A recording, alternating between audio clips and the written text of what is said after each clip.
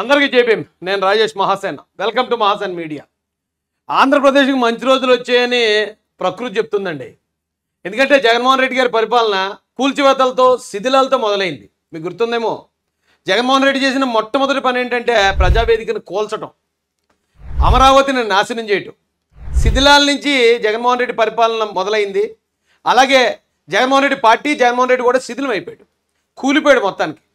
కానీ చంద్రబాబు నాయుడు గారు ఇలా ఎక్కారో లేదో ఇలా గెలిచారో లేదో అప్పుడే అమరావతి వేల విద్యుత్ దీపాల కాంతులతో ఆహా చూడడానికి రెండు కళ్ళు సరిపోవట్లేదండి. ఓ పక్కన అభివృద్ధి కార్యక్రమాలు మొదలవుతున్నాయి. మరో పక్కన గతంలో జరిగిన లెక్కర్ స్కాము ఇసుక స్కాము ఇలాంటి అన్ని స్కాముల మీద ఆల్రెడీ ఎంక్వైరీలు పడిపోయి. అంటే తప్పు చేసిన ప్రతి ఒక్కడికి పనిష్మెంట్ దిశగా అలాగే ఆంధ్రప్రదేశ్ అభివృద్ధి దిశగా. ఈ రోజున ఆంధ్ర రాజధాని అమరావతి గతంలో ఎప్పుడు కూడా అమరావతి అనే పేరు విన్నప్పుడు మనసు బాధగా అనిపించిందండి. ఇప్పుడు అమరావతి వెళ్ళాలి అనిపిస్తుంది మాకు. ఒకసారి అమరావతి వెళ్ళి చూడాలి. ఆ ఏరియా ఆ ప్రాంతం గతంలో చంద్రబాబు నాయుడు గారు అభివృద్ధి చేసింది. తర్వాత జగన్ గారి వల్ల శిథిలం అయిపోయింది. ఇప్పుడు మళ్ళీ దానికి పూర్వ వైభవం రావటం. బా వినడానికి ఎంతో ఆనందంగా హాయిగా ఉందండి. నిన్న మా పిల్లల బ్యాగులు కొనడానికి కానీ స్కూల్ బ్యాగులు కొనడానికి వెళ్ళాం షాప్కి. అక్కడ ఒక ముస్లిం సోదరుడు అడిగాడండి. అన్నా ఇలాగా బీజేపీ కూటమి గెలిచింది. నారా చంద్రబాబు నాయుడు గారు గెలిచారు ఇక్కడ. అన్నా ఏమి ఇబ్బంది ఉండదు కదా? కొంచెం భయం కొంచెం ఆందోళన రెండు కలగలిపి.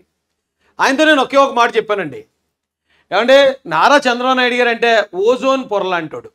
ఆ ఓజోన్ పొర సూర్యరశ్మి సూర్యకిరణాలు మనకు అవసరం కాబట్టి సూర్యకిరణాలను లోపల రాణిస్తుంది. కానీ భూమికి చేడు చేసేది ప్రజలకి చేడు చేసేది ఏమన్నా అంతరిక్షంలోంచి వస్తూ ఉంటే ఓజోన్ పొరను తాగ్గానే పేలిపోద్ది. అంటే ఇక్కడ నారా చంద్రబాబు నాయుడు గారు కూడా కేంద్రం నుంచి రాష్ట్రానికి రాష్ట్ర ప్రజలకి అవసరమైన ఉపయోగపడే ప్రతి ఒక్కటి వస్తుంది.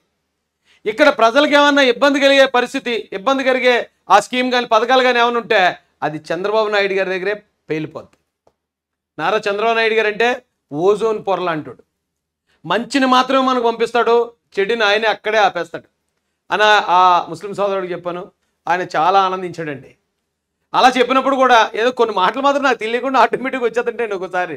చెప్పినప్పుడు అబ్బా నిజమే కదా చంద్రబాబు నాయుడు గారు ఓజోన్ పొర. అలా ఆ మ్యాచింగ్ రావడం అనేది. నిజంగానే చంద్రబాబు నాయుడు గారికి వెళ్ళడం అనేది రాష్ట్రానికి చాలా ఆనందకరమైన విషయం అండి.